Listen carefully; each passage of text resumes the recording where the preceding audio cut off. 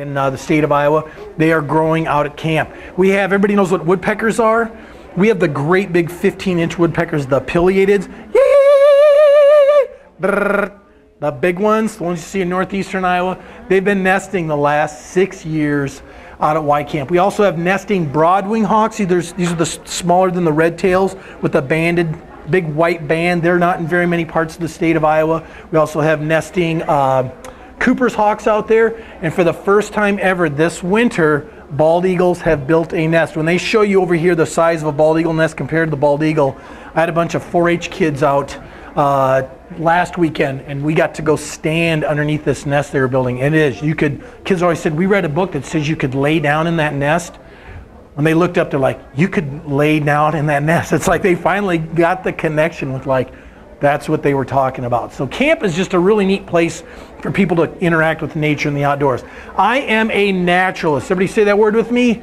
Naturalist. We study nature and the outdoors, and I work a lot with kids.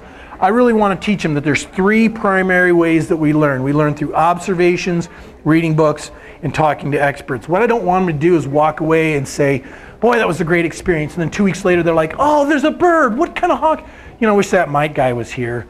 No, I want them to be able to say, I have the tools to figure out what that bird is myself. So we teach observations, reading books, and talking to ex experts. So first thing we do, observation. I always carry my binoculars with me. I only stopped once on the way down, but I will probably stop multiple times on the way back. There's a lot of waterfowl. There's a lot of open water, so I'm always checking stuff out with my binoculars. I'm always looking at animal tracks as I walk through the woods. Right now, there's stuff is already starting to emerge. Anybody been out in the woods? Seen hepatica is already starting to come up. Yeah, stuff is already, and if you have a garden, if your, your uh, daffodils and stuff are already coming up, they've been tricked by this warm weather.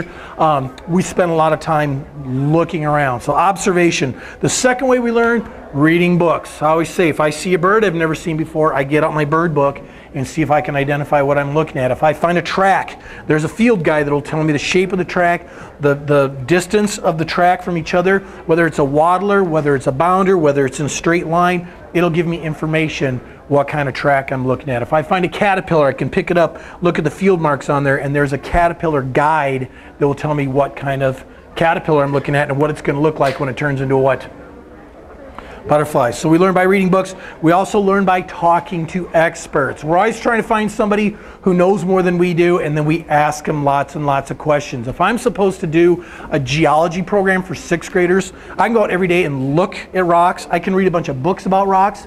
But if I talk to somebody who's spent the last 30 years of their life studying geology, I can find out why the state capitol sits on top of a giant hill. That's not landscaping, people. Okay, that's geology. Uh, they can tell me why when I go up to north central Iowa, I'm going to find limestone and gypsum by Fort Dodge and Humboldt and and and. Uh, uh, Gilmore City, why is that stuff at the surface? That's information I'm not going to get by my own observations or reading books. So the third way we learn is talking to experts. I want kids to know that when they leave my programs, they literally have a toolbox with things that they can do to go on and, and keep on exploring. I was a little kid, as, as a little kid, I spent a lot, a lot of time outside. I'm going to get more into that into our program today. But uh, same way we learned observations, reading books, and talking to experts. I spent a lot of time out in our backyard making forts and digging holes. We had a we had a driveway in our back, alleyway that we'd go and collect rocks. I love being outside. I also liked reading books, but what got me into nature were dinosaur books. Dinosaur books got me into reptiles and amphibians. That got me into African animals. I got a six-year-old. Guess what he likes to read? Dinosaur books. He's still into those books as well. You know, they always say there's a dinosaur phase. He's, it's not a phase. He's still into that. I was also that little kid that asked lots of questions, and by asking questions, what do you suppose I got? Answers, yes. The fact that you're here today tells me something about you, okay? You, there's a lot of options here today. Your house, all every one of you needs to get worked on your house. Why are you here? Okay, maybe you're like, I want to be, I want to be entertained. I want to go someplace else. There's basketball going on right now. There's a whole bunch of flea market stuff. There's there, you have a lot of options.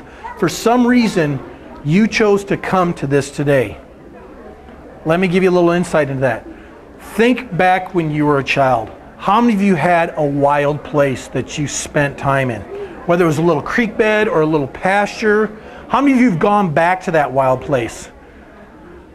How many of you, when you went back to that wild place, were shocked at how small it was? Like, wow, I thought it was a jungle, and it turns out like it's an overgrown lilac patch, or like you know, a few trees. Like, wow, I remembered it being way more wild than that. How many of you have gone back and that place is gone? Okay, that's where our connection to nature and the outdoors started. How many of you little kids right now, when I ask you this question, I've never met you before, how many of you have a sit spot? Raise your hands. Notice how these kids all raise their hands. Did I explain to them what a sit spot is? How many of you have a spot where you go and just watch what's going on in the seasons, or you go out and you, you just sit and be still outside and just kind of pay attention to the birds and the squirrels and everything that's happening? We do that instinctively. How many of you then tell your mom and dad about it, like at dinner when they say, How was your day? How many of you guys say, What'd you guys do today? Nothing. Okay, and your parents are like, Really? You did nothing? Yeah. After you've been at that sit spot, what do you need to be telling your parents about? About what happened at that spot. So, adults, let me ask you this. You don't have to raise your hand on this one. How many of you did something that you knew was naughty at that special little spot?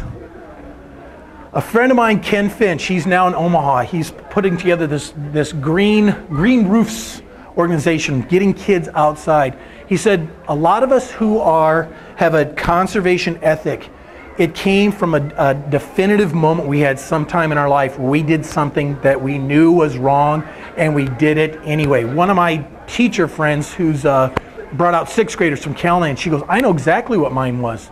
Me and the neighbor boy, we went out and popped the head off garter snakes and put them in a five gallon bucket and took them and showed them to my mom.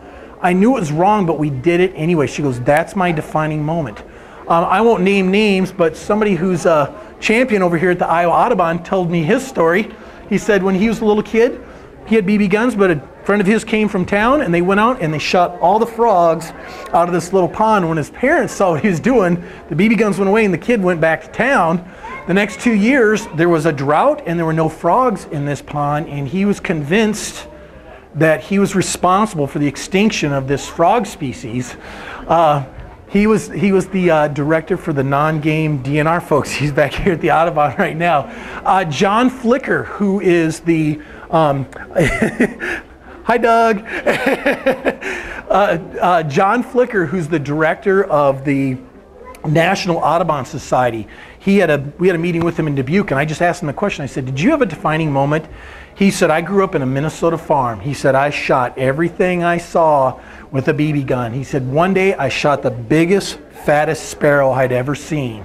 He said, I went over, and when I turned it over, he said, I looked around to make sure nobody had seen what I had done. It was a meadowlark. And he's like, this is why I work so hard for the birds. I can tell you mine, same thing. I don't know why it's boys and BB guns, but it, it is. Uh, I was staying at Grandpa's, which is a big deal. Um, we only got to go one kid at a time for half a week in the summer, got to go up to Grandpa's. Cousin Bobby comes over. I, my, I was a, I'm a son of a guidance counselor and a Catholic school teacher, so we didn't have guns in our house. So cousin brings over the BB gun. He says, let's go over to the machine shed. You see those nests in there? Let's shoot at them. So we start shooting. I didn't know what a barn swallow was. Uh, we shoot apart this nest. I, at one point, shoot the barn swallow, which my cousin tells me you are a really good shot. Nobody can shoot one of those. Well, it was luck. Shot it, the thing went and landed. He's like, now you got to go over and kill it. It wasn't dead. So I had to sit there. Now I'm with my cousin. I have to do this, this evil deed here. I have to kill this bird that I've wounded. And I was fine. It was that night when I'm laying in bed and I hear it raining on the roof and I'm thinking, that barn swallow will never hear this rain falling on this roof that was my defining moment. So the fact that you're here today, my guess is not only did you have a wild place, but you had something that happened in that wild place that helped give you an ethic. And that's what I want to talk about today is creating opportunities to get kids outside. Right now, how many of you have heard of the book Last Child in the Woods by Richard Louv? Anybody heard of this book? Get a copy of this. This he has all the brain research that shows why we need to get kids outside. This generation of child right now, when they turn 30 years of age, they will have spent 10 years in front of a computer screen. Whether that's video games, whether that's YouTube, whether that's working on the computer, 10, a decade of life looking at a screen by the time that they are 30 years of age. We need to be getting these kids, giving them experiences to get outside. So, um, Richard Louv, 2008, the National Audubon Society recognized this, this book, Last Child in the Woods, as um, a great conservation piece, piece. But how many of you have, have read the Sand County Almanac by Aldo Leopold? That was written in, nine, it wasn't written as a book. He wasn't trying to get published. These were just some writings that he had kind of was thinking about, and his children were the ones that ended up putting them together. If you, if you don't have that book, get a copy of this book. This is it's a great book because the first chapter is done by months. So january february March, those are chapters. So it's nice like okay it's march. I haven't read march yet. When you sit there and read these chapters it's he has such profound things to say that you would think that this was written the same time that richard louv has written his last child in the book. So uh, last child in the woods book. I'm going to share a few quotes not a bunch but uh, here's listen to what these words sound like this is uh, this is on the chapter called on a monument on a monument to the passenger pigeon. He says, Our grandfathers were less well housed, well fed, well clothed than we are. The strivings by which they bettered their lot are also those which deprived us of passenger pigeons. Perhaps we now grieve because we are not sure in our hearts what we have gained by the exchange. The gadgets of industry bring us more comforts than the pigeons did, but do they add as much to the glory of spring the gadgets of industry. How many you see everybody sitting there doing this? he was talking about the telephone, not about your smartphone. Okay, he was talking about the beginning of television, not YouTube. I mean, th- this is what he had to say back in 1949. So, one of the things I really like about Leopold, and this is something when we naturalists try and put together programs, he really talks about this in Sand County Almanac. He talks about awareness, value, and action. How many of you guys are ready for a PowerPoint?